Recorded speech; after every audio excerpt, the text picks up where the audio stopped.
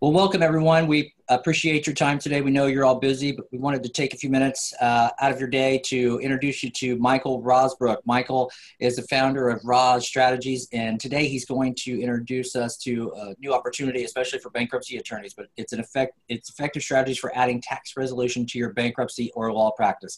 This was especially interesting to me because I know it's always you know interesting and difficult to find new ways to add revenue to your law practice but michael has a very unique approach to it and it's very interesting and very effective. So i am going to uh, you know wrap up my presentations and turn this over to michael and let him tell you uh, about this more about himself and more about how he does this. Um, but if you guys have any questions please feel free to ask them in the Q&A. And if it's appropriate, I'll introduce, I'll uh, introduce your question to Michael and he will answer and or we will wait towards the end to, uh, to answer your questions. So please feel free again to ask him in the chat or the Q&A. But um, for now, I'm going to turn this over to Michael. Michael, take it away.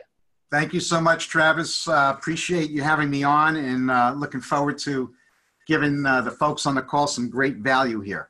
Okay, so let's uh, let's begin with well, number one is let me just qualify myself. So I'm a CPA, I'm also a certified tax resolution specialist. And for 16 years, I represented uh, hundreds, my firm represented thousands of clients before the IRS. So, what is tax resolution? Tax resolution is basically somebody who owes the IRS, can't take out their checkbook, write a check in full, and pay the IRS off. So that's it in a nutshell, but we'll get into a lot more detail as we go through the presentation here.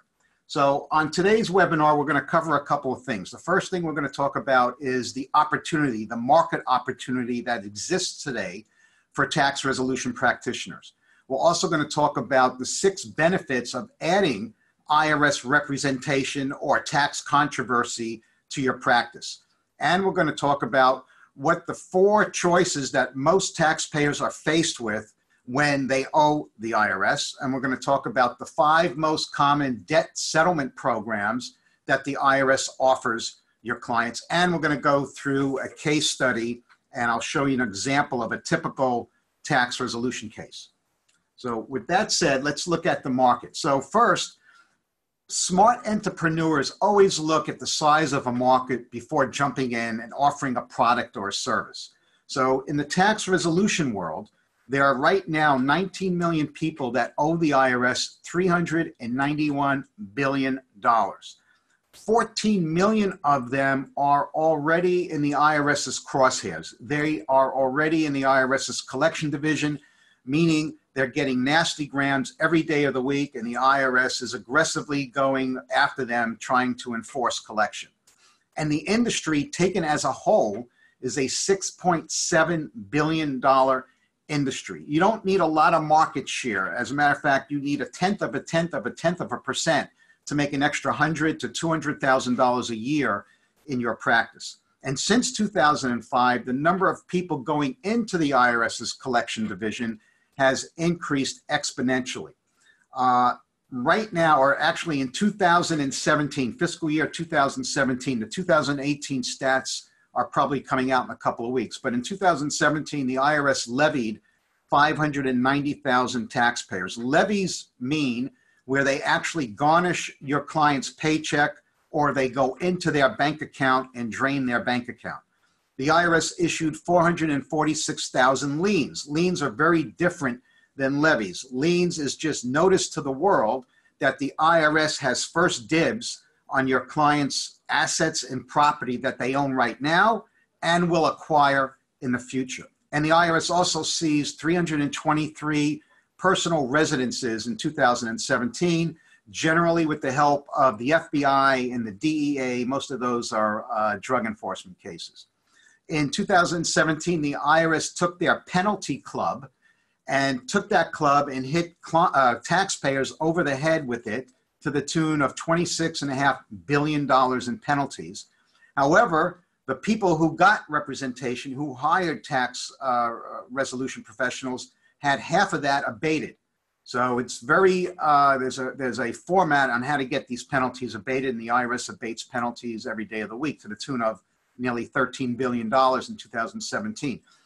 In 2017, the IRS entertained 62,000 offers in compromise. Offers in compromise is what uh, is what bankruptcy is to unsecured debt, is what an offer in compromise is to tax debt. We'll get into that a little more later on. The IRS accepted 25,000 of those 62,000 submissions, which means that there was a 40% acceptance rate. That's the second highest acceptance rate since 1998 because the IRS, under their new Fresh Start initiative, has made it easier for taxpayers to qualify for the Offer in Compromise program. The other thing I want to mention is, is I've been in this business about 20 years and I've seen the pendulum swing back and forth to enforced aggressive collection uh, to where the IRS was basically sitting on their laurels and not doing anything. Uh, in the last few years, the IRS really wasn't enforcing as much of the law as they could due to budget cuts, uh, deficits, uh, losing about 23% of their headcount. With the appointment of Charles Rettig, the new IRS commissioner, whom I personally know, we actually manned a phone bank in LA about 18 years ago, uh, taking uh, callers' uh, questions. Uh, he's a Trump appointee. Uh, but his first week in office, he hired 250 criminal investigation guys. So the pendulum is going to swing back, in my opinion, uh, to enforce collection here in the next few years. Um, plus, you have the cannabis industry that's exploding, and also the crypto tax currency market that's exploding. When I mean exploding, they're ripe for potential tax resolution clients. A lot of people don't report their cryptocurrency uh, transaction gains on their returns. And cannabis, 33 states now in the union have uh, legalized marijuana. However, the federal government has not.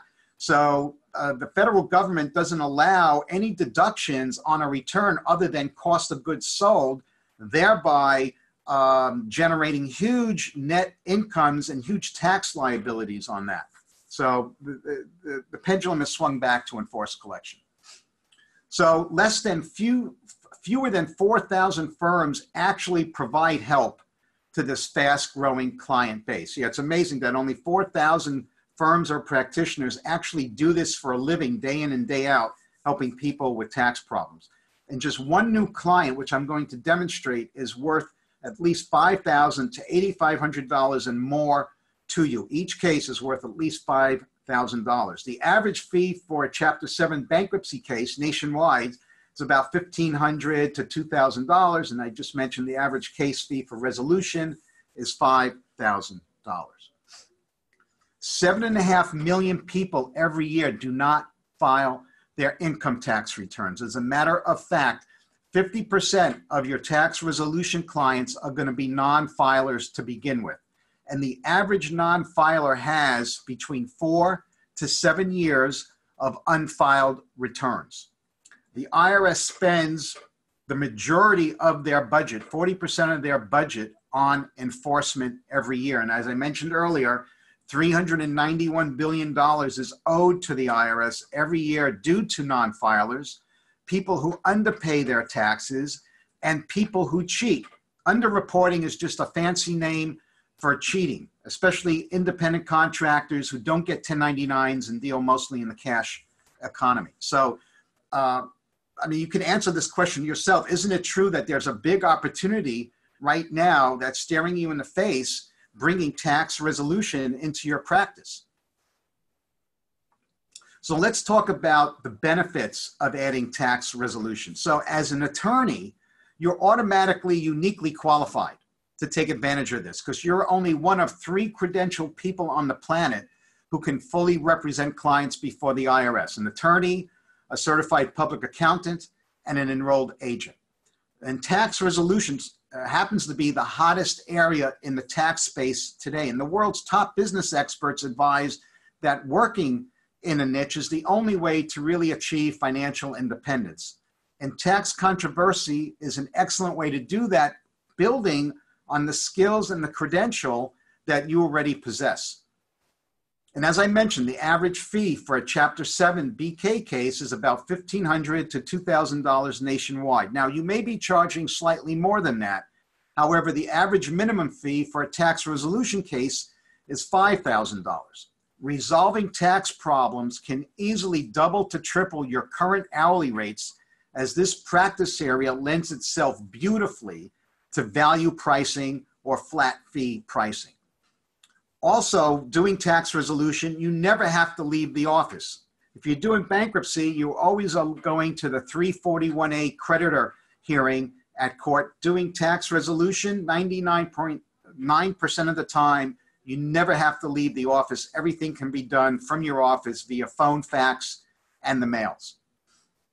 The other thing is, is look, if your team, if you or your team are spending time chasing after fees, when you really should be working on earning new fees, you may think that, or you, or tax resolution might be just the thing that the doctor ordered, because uh, in in in my experience, in 16 years, I never sent out one invoice, and I'll show you that in a, a little later. All of my billing was done on value pricing, flat fee billing.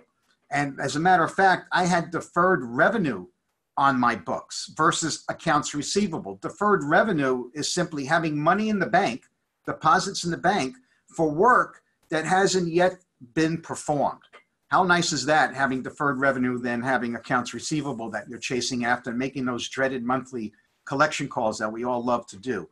The other thing is is number 5, a majority of this work can be performed by paralegals and admins. This frees up your time to spend on generating leads and talking to qualified prospects, and you can further leverage your time by getting tax resolution case management software, which I'll talk about a little later.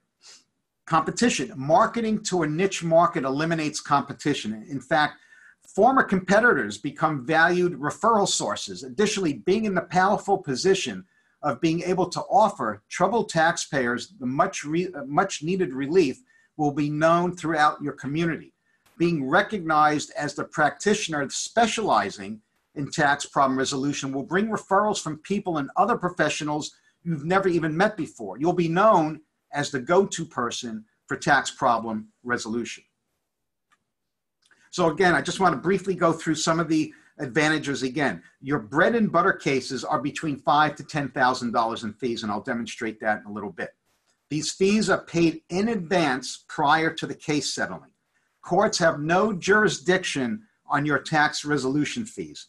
Also, you probably are asking yourselves right now, if you're attorneys, how am I going to do these tax returns? You just said, Michael, that half of the clients are non-filers and that they have three to seven years of unfiled returns all the returns, all the prep can be outsourced. I'm a CPA. I never prepared one return in my practice. I outsourced all of my tax preparation. Two new clients a month are worth 120 to 240,000 dollars to you annually. That's just two clients a month. You don't have to leave the office to go to the 341A creditor court hearings. Most of the work can be performed uh, by paralegals and admins.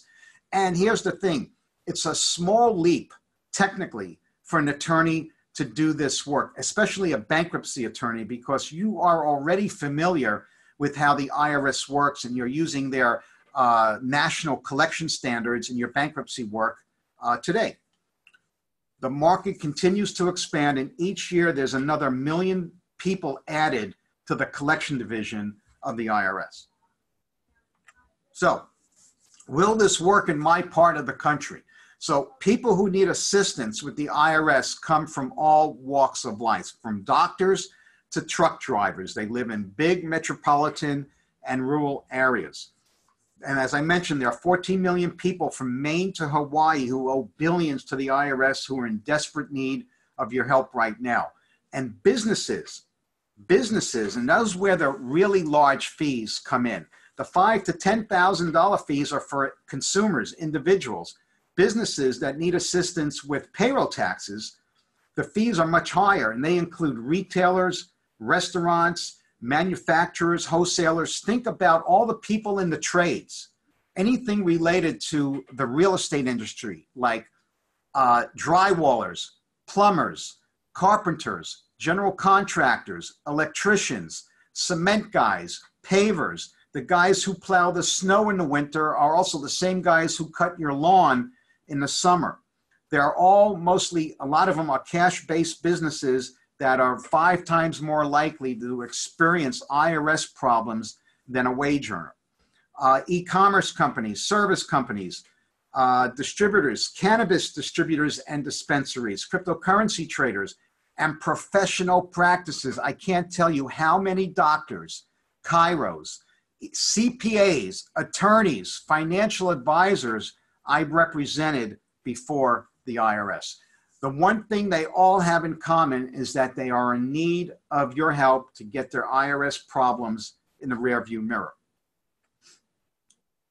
I used to consider, and I still do, that everyone hears these uh, late night uh, TV ads and the radio commercials. You've probably seen them or heard them targeting people who need assistance with IRS and tax collection issues. So, national companies don't compete with you as much as create public awareness that practitioners can actually help them with their IRS and state collection uh, tax matters. And many people, most people, would prefer to work with you, their local attorney, than calling some impersonal 800 number 10 states away and they're dealing with a salesperson uh, trying to get their trying to get their money. So uh, we use the marketing efforts of, of the larger tax res firms to our advantage. So a question I get asked a lot is, do I need a physical office to meet with clients or can I conduct this as a virtual business? You can conduct it as a virtual or remote business, but here's the really cool thing. Since you're a, an attorney in good standing with your local state bar, and since the IRS is a federal agency, I'm going to put a myth to bed here. You can represent clients in all 50 states. You are permitted to represent these clients per IRS Circular 230, which governs practice before the IRS. So there's a myth out there that says if I'm an attorney in California, I can only represent troubled taxpayers in California. That is a myth. That is not true. You can represent clients in all 50 states throughout the country. And I always considered the IRS my marketing partner. When they levied one of my clients, when they, when they filed a notice of federal tax lien against a client, they were doing marketing for me because the client had to call somebody to resolve their problem. And if I was out there doing my marketing, whether that was direct mail or online, I was top of mind. So the IRS is not only filing liens and levies the old fashioned way through revenue officers, I call those boots on the ground, uh, but they're also filing through the ACS means automated collection system, where you have uh, people at the IRS making $16 an hour who have your client's fate in their hand. Think about that for a second.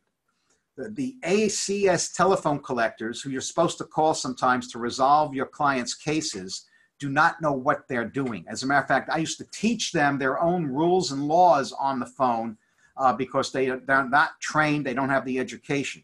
But the IRS is also filing these liens automatically by, uh, by computers, thereby creating more opportunities for the practitioners. I mentioned earlier, the IRS lost 23% of their headcount. So they have to rely more and more on technology. The IRS sent out 200 million notices in 2017. Over 60% of them were incorrect. So consumers, taxpayers need your help figuring this out and resolving their tax problems. Okay, so let's talk about what are the options that a client who has IRS problems are faced with. They're, they can only do one of four things. So every tax resolution client will make one of these four choices when dealing with the IRS. Number one, pay the IRS 100% of what the IRS claims they owe. And we just said that 60% of the notices are incorrect.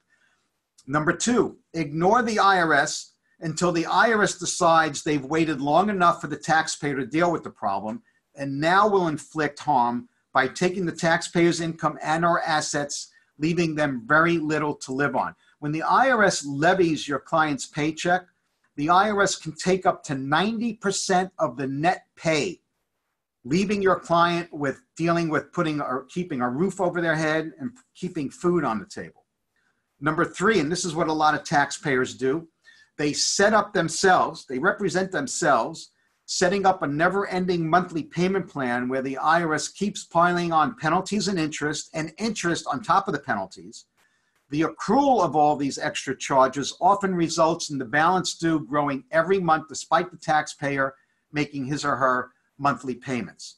And number four, reduce the total amount they owe to an affordable number with the help of a tax problem resolution specialist and get on with their life. Which one of these choices do you think most people would make? If they had the money to pay the IRS, they would have done so already. Others will wait until the problem gets so bad that it affects all aspects of their life. Yes, some uninformed people will just set up a monthly installment agreement that continues to add interest and penalties. They seldom do this in their best interest and could use your help to fix the problem.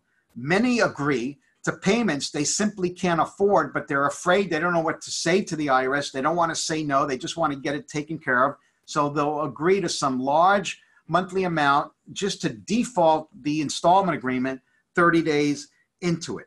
But this last group, group number four, where they want to reduce the amount. That's your most profitable client. These are your bread and butter cases. They need help now, they want help, and the IRS is probably already after them. So they're ready to take action, they're ready to act, and they will pay you in advance to deal with the IRS. Okay, but you may be saying, but Mike, I've never done this type of work before. So a lot of practitioners get into this type of work, are worried about messing up or making a mistake because the work is unfamiliar to them. Okay, number one is someone who comes to you owing $75,000, has four years of returns that need to be filed, is being levied by their employer. There's not a lot you could do to mess them up. The only thing you can do is improve their situation. They're already messed up there's no mistake I can think of that you can make that's going to make this situation worse. The way I learned to represent clients before the IRS was this way I took on as many cases as I could handle and I figured it out. I learned how to do a lot of this work on my own. There weren't a lot of resources available when I started. Today, there are tons of resources available to do the work. Don't get bogged down in the paralysis of analysis.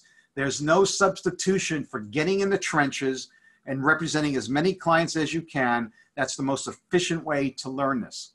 So there's five main categories of resolution. They all follow a three-step workflow process. And I'm talking about collection cases now. I'm not talking about exam or audit related issues. I'm talking about people who owe but can't pay.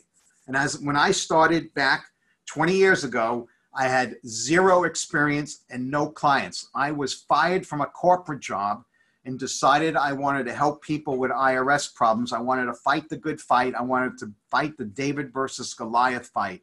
And when I started, I had zero experience and no clients. Yet I was able to have 168 month over month increases in my monthly deposits in my bank statement that culminated in doing $23 million doing IRS resolution, solely IRS resolution uh, in my firm. I didn't have a traditional or conventional CPA practice. I didn't do that. That was a commodity to me. Uh, this was a very specialized sub niche area that I got into and that I, I teach others how to get into now. So let's talk about the five major case options you're going to come up against with people that have IRS problems. The first one, and this is the one that you hear pennies on the dollar, you know, settle for a fraction of what's owed. This is the hook.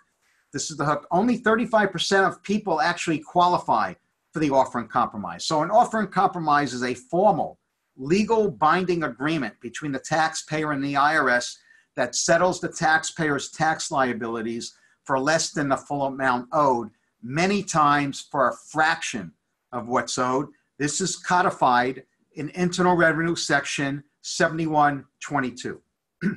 the rest of the options, two, three, four, and five, are not codified.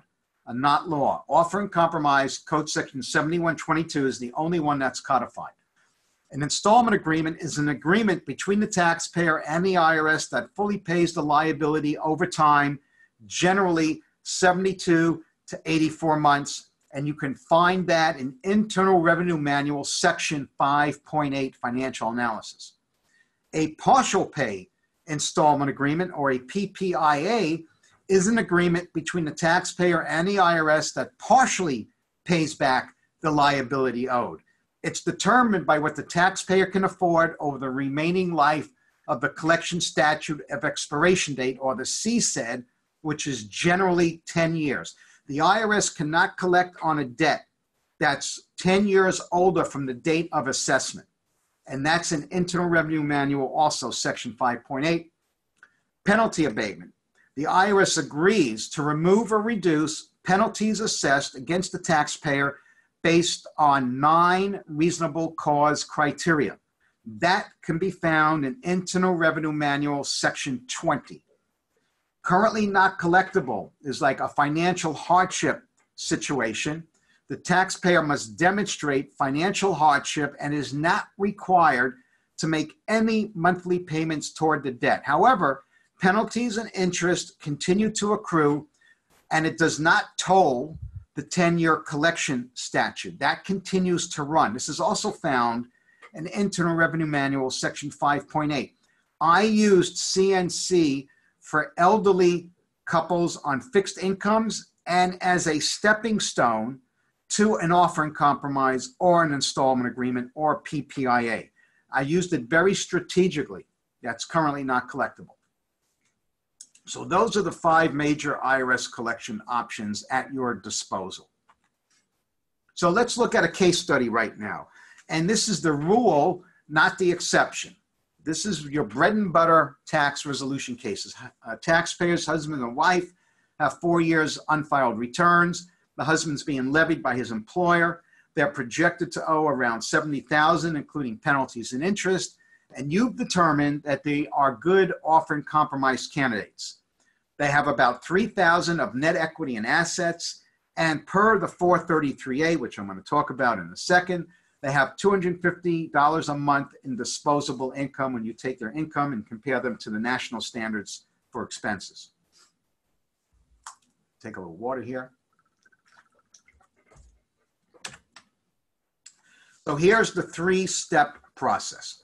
Every collection case is broken into three phases transcript discovery or analysis, compliance, and resolution. So in the transcript discovery or analysis phase, we determine where the client is in the collection process. And we also look at the CSEDs because there's a lot of strategy that goes on in this phase. Because, you know, think about it. If you're lost and you ask somebody for directions, what's the first question they ask you is, where are you? The transcript analysis determines where the client is. So that's the first phase. The second phase is you got to get them in compliance. You got to prepare all the unfiled returns. You got to get them into legal filing compliance. The IRS is not going to deal with you on resolution until your client is in full compliance with their tax filings.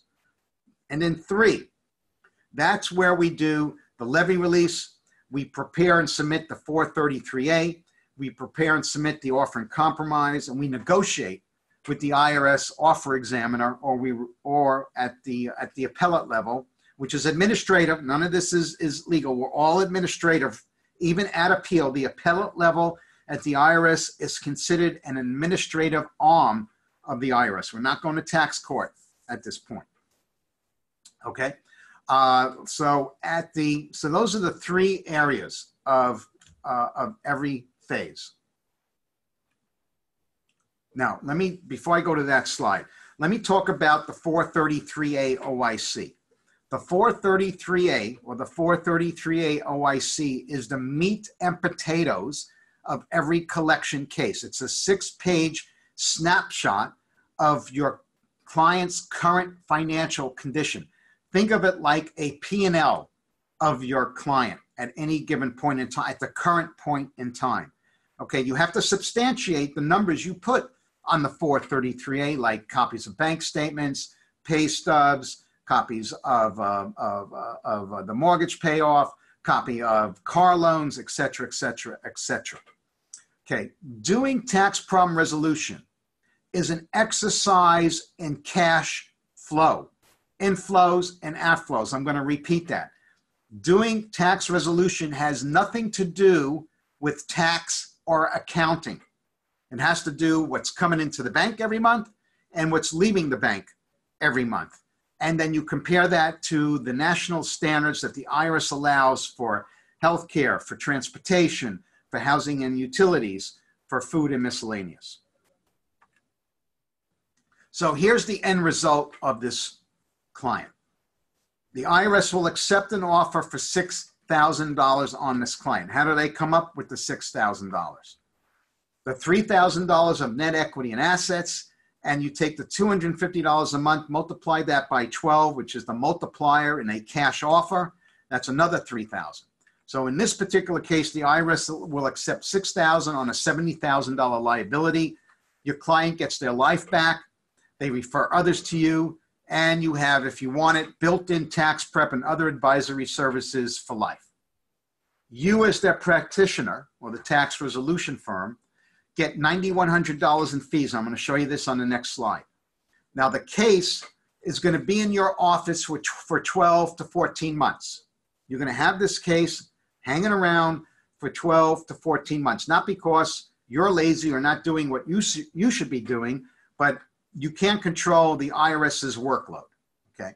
Now, but you're only going to touch the case about 20 hours.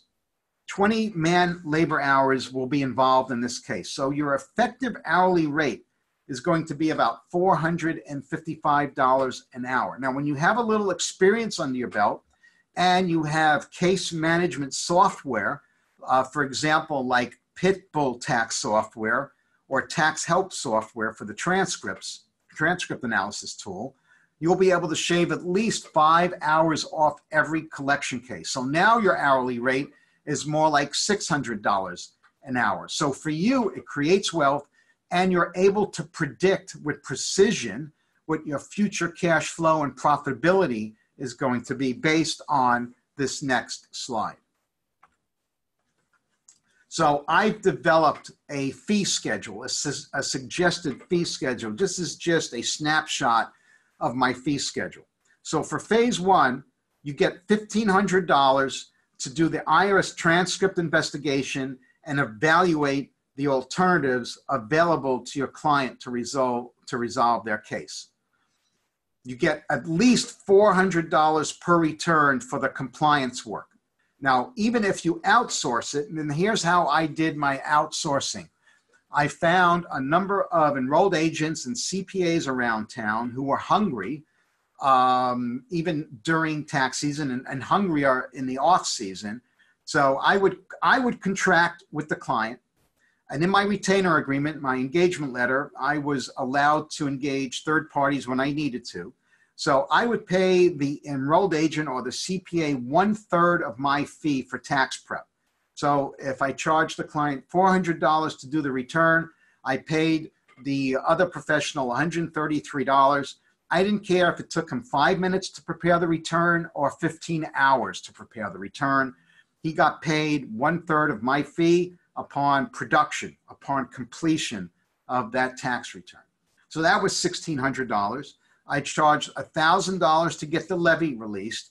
And then for an offer and compromise at between fifty to $70,000, I charged $5,000, which included all the prep work for the 433 AOIC, uh, also the 656, which is the offering compromise form, which is a four page easy peasy form, and also to negotiate the offer. So all in, all in, and this is the rule, not the, ex- the exception. This was a $9,100 case. My average case value over 14,000 clients and 16 years was $8,700 per client.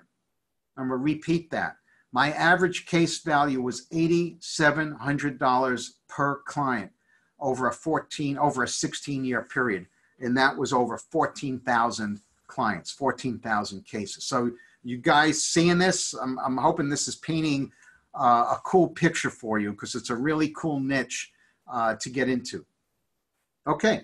Um, so how do you collect that fee in advance, right? Because think about it. Someone coming to you owing $75,000 and the most brutal collection agency on the planet couldn't collect from your client, how are you going to collect after you resolve their case and send them an invoice? It's not happening. Okay, so here's how you do it. So I broke, and if you're not experienced, I suggest you break each case into two engagements, right? There's three phases of work transcript, discovery, compliance, and then resolution.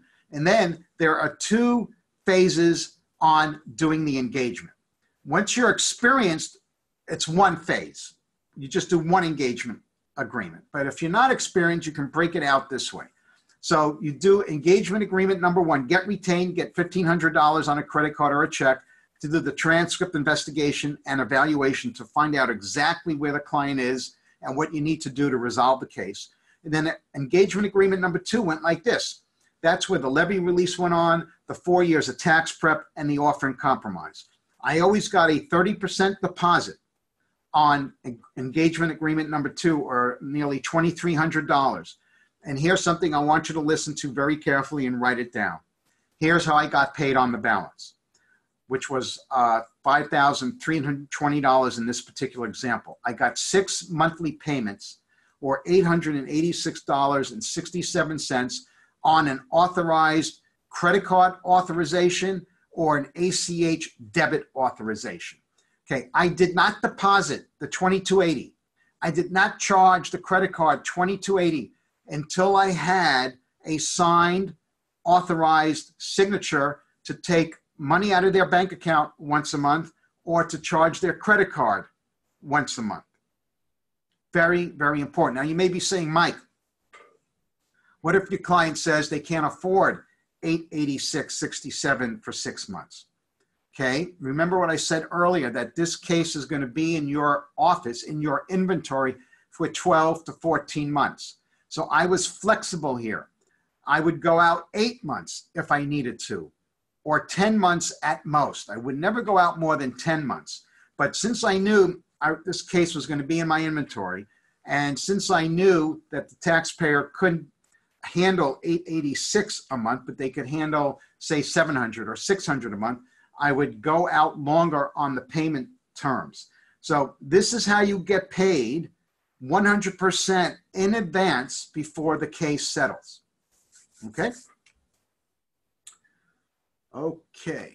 So, uh, question is, is if you had a complete business system that generated leads, turned them into appointments, got them to show up, all while getting you paid in advance the fees you deserve, I mean, wouldn't you want to have something like that? Wouldn't you have the practice and lifestyle you always wanted when you first started out? So, what I would suggest is, and we'll take questions. I'm sure there's a lot of questions. I, I can't see them, Travis, so we'll go over your questions here in a minute. Is to set up a strategy call with me. There's the link. Um, go dot OnceHub forward slash Michael Roz. Or I also have a free two hour uh, training webinar uh, uh, detailing what my program is all about, how it works, and everything else. That's rozstrategies.com forward slash live dash training. So you can get all the uh, all your questions answered there as well. So Travis, do you have any questions for us? We did not have any questions. I was really surprised. So uh, there's one or two ways to look at it. You were very thorough, which you were, because I was listening in on the whole thing. So it was very informative, um, or you answered all their questions, or they have uh, I've uh, just waited until the end here. So if anyone has any questions, I would encourage you to go ahead and pop them in the Q&A or, or put them in the chat. We'd be happy to answer them. We have a few minutes left. So I know Michael would appreciate any questions that you have and or you can obviously use the links that uh, Michael's provided you to connect with him. And I know he has some other contact information he's going to share with you. So yep. um, I still don't have any questions, but so you know, apparently you were very thorough, and or the information is uh, very thorough. So it it is a little bit surprising to me because I thought this was a pretty interesting topic. Yep, yep, yep. Uh, does anyone on the call? Um, would anyone on the call be interested in in adding tax resolution to their practice or not interested at all.